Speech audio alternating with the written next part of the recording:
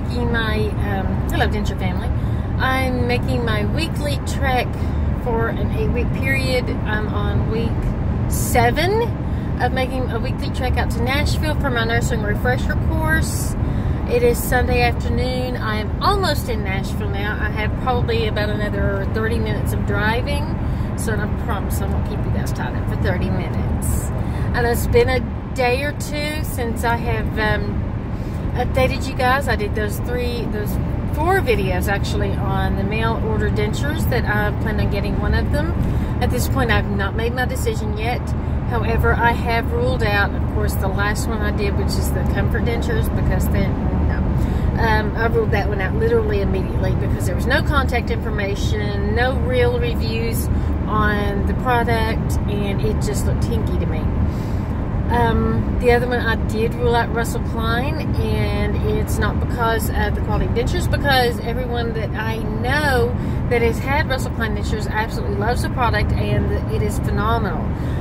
My deal for me, for my situation, I want somebody that I can pick up the phone and contact, or you know, contact right away if I have a question or I have a problem, whether it's during the impression process or whether it's um, even afterwards, um, you know, doing adjustments or anything, any questions that I might have, I, I, want to be able to have, be able to contact them right away and either by phone or, you know, some other way. And I know you can contact Russell Klein by email, and I'm sure that he gets back to you fairly quickly, which from what I understand from most people who have it do. And due to that, um, I'm probably going to go with, I'm about 90% sure I'm going to go with dent kits. Largely because they do have a phone process that I can pick up the phone and call them and ask them questions. And neither Russell Klein nor Joe's Dentures have that. Um, I can contact Joe, or Jamie, through his website, through his Facebook and all that stuff. And that's great because I know he also makes an absolutely phenomenal product and um, I've been chit chatting with a guy on Facebook who's, you know, we've been chit chatting about dentures, and he was asking me who did mine, and you know, he's going through the process, and he's going to be ordering from Jamie very soon if he hasn't already by now. Um, so, but for me, in my budget, um, budget, uh, for me, in, in my situation, I prefer somebody that I could just pick up the phone and call, and I can do that with dent kits. So I'm at this point 90% sure I'm going to go with dent kits. Um, I haven't contacted anybody yet. Um, I'm still waiting on being that year out, which will be um, mid-April or April 23rd was. Um, I think it was April 23rd. Or was it March? You know what? I'm gonna have to go look um, because I can't remember. Can't remember if it's March or April. Let's see. It was April. It was April 23rd. I count six back, six months back from October, which is when I had my uh, started the process on my permanents. It was April. So April 23rd was when I had my extractions and um, temporary dentures, and then six months later in October I started the process for my permanents and got those in November. So but I will be a year out in April, and that's when I want to start the process. I want to be a full year out before I you know, bite the bullet and get those those dentures for that backup. Um, as for my permanents, I'm not having any real issues. Yeah, I still use glue in them. Um, I need to order some more denture fit because I'm out. I think I have. I think I do have one tube left. I'll have to go back and look. I've rearranged my office and I'm just doing a lot of rearranging and stuff. So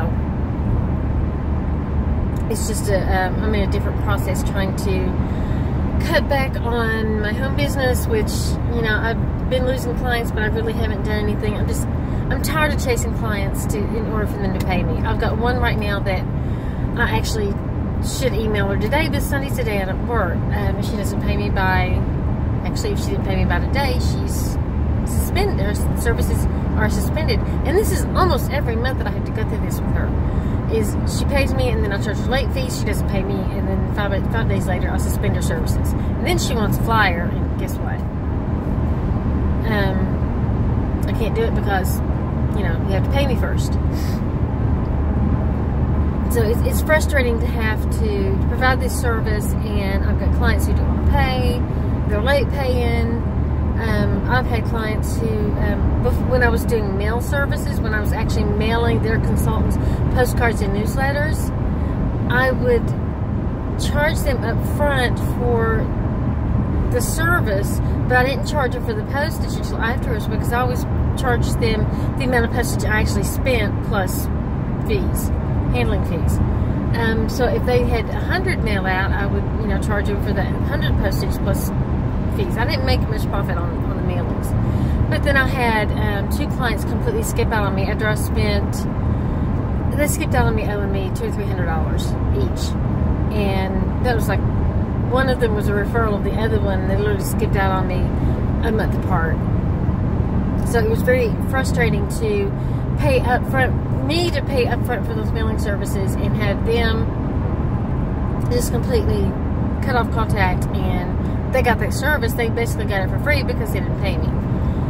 And I don't have the funds to go after them in court. Um, I don't have all that. I mean, my business isn't making that much money. But for those of you who don't know, what I do is I provide I'm a virtual assistant business for Mary Kay sales directors. And God love them. I love my Mary Kay. I love my sales directors. I've got some that are absolutely phenomenally awesome, but they are notorious for being, Mary Kay sales directors are notorious for being cheap. They want to cheap out. They want to cheap out on their services. They want to cheap out on the gifts that they give to um, their consultants. Because if you, especially if you have a large unit, it gets really expensive. So, and you're not making much a profit if you're spending all of your profits in trying to recruit people and trying to, you know, to get that going. And it's just, it's frustrating. And I'm, I've got a few, a few clients that I will keep. I do not provide mailing services anymore, so they all have to pay me up front. But then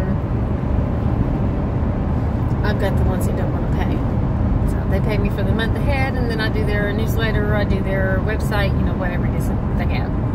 Um, right now, I'm down to two clients having website services, and probably one client has two webs, web newsletters, newsletters, and I have three more clients that have newsletters, and I have probably two other clients that have um, newsletters occasionally, like once a quarter. They'll do a newsletter. So they'll tell me they, what they want. I'll send them a bill. They pay it, and then I do it. It's not that big a deal. It doesn't take up that much time. But it's time for me to get back into nursing. I've got my health back. Nurses are needed out there. Um, I'm actually looking forward to getting back into it. So there's that. get those medical bills paid off. And, you know, I can only work part time right now because I still have my mom to worry about after dad passed.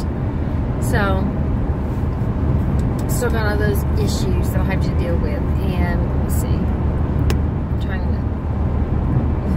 I've got a pop it on the back of my, my phone, and it's one of those that if you turn it, it pops out. You have to turn it and pop it out. You don't pull it out like some of the other pop sockets. And if I turn my phone the wrong way, it just pops out. And I'm like, Ugh. frustrating.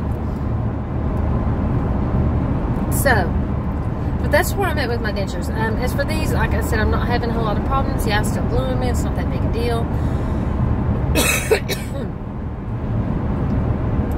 um, they feel kind of big. They don't really, they're not really different looking, but especially the lowers, they feel kind of big around here. And maybe this because you had six months, you're not fully shrunk yet. I mean, but my, my immediates were so big on me. They were big. See what I mean? They were big and bulky, and I'm about to go over another bump here. And I couldn't have survived a full year wearing those immediates. It was just, I got the monkey mouth. It's just, it was just too much. So I'm happy with what I got. So what will happen is that I will um, order the dent kits, get hold. I got the dry throat going get in touch with Serge, order the impression kit, and you know, very soon. And then once I um, I'm a year out, I will start that process on getting those. And this will probably become my ones that I use all the time, and these will be my backups. Um, but I do have a seven-year warranty on these, and I can get a hard reline, you know, at any time. I can also get soft relines in them if I want to. They're all free, so I don't have to worry about that. Um, if they break, they'll they're under warranty. They'll be taken care of. And you know that's the pros and cons of getting the mail order dentures is that you don't generally have much of a warranty. With Dent Kits, I know um, they're starting a different warranty kind of program from what I understand from one of the other videos I was watching from Ms. Vicky. Um, and I think it was Miss Vicky or somebody else who was one of the kids that um, they got in the one year warranty because they were starting a new kind of better kind of warranty thing. So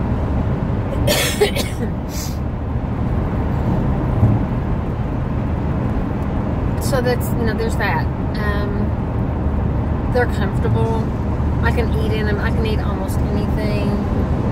Um, I do have a hard time eating almonds whether and it didn't matter whether it's my permanents my temporaries.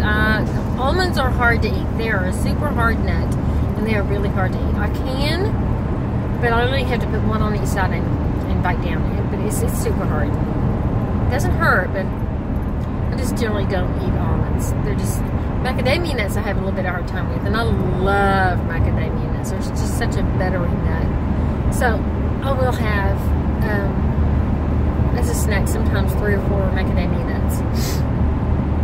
But I can eat steak. I can eat bacon. Bacon is life. I can eat pretty much anything I want to. I'm still not gluing my bottoms down. They fit, and I do have some suction on that. I mean, I can feel it popping sometimes. Um, my speech, as you can tell, is pretty near perfect. Although when I start laughing about something and I'm trying to talk and laugh at the same time, these kind of pop loose and I can just, I become more, and more and more difficult to understand. And yeah, there goes that southern accent of mine as I'm coming into Nashville. Music City, USA. But um, that's pretty much it with with my, I guess, 11, almost 11 months out from my um, um, extractions. So that's pretty much my update from that. But at this point, like I said, 90% sure I'm going to go with Dent Kits.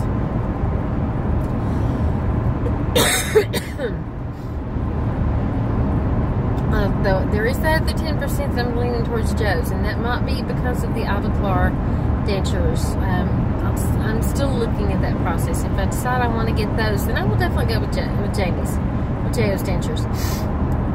Um,